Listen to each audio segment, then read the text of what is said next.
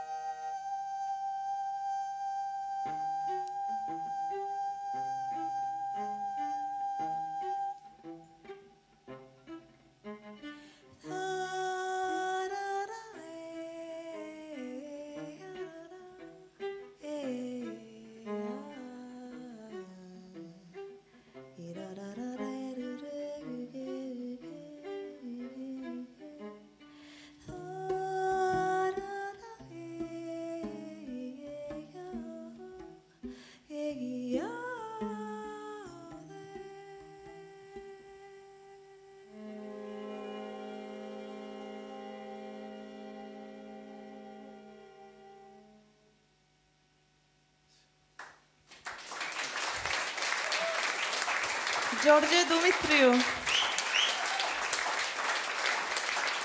Thank you.